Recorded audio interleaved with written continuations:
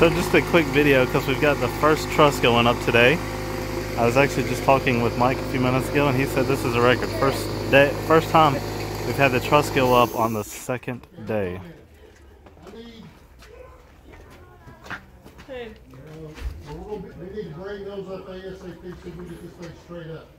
We need to bring one of those up. Okay? Got this? Yes, sir. We need more people. Isaac.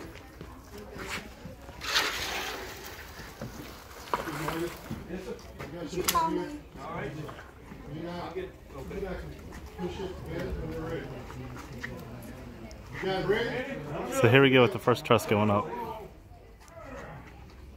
You're right there. Uy.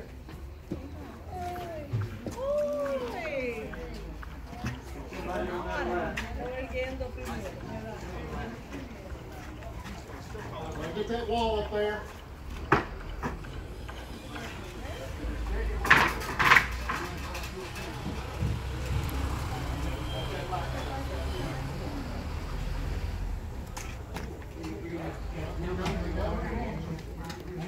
So we got the truss up and then you see the putting the panel up over on the right.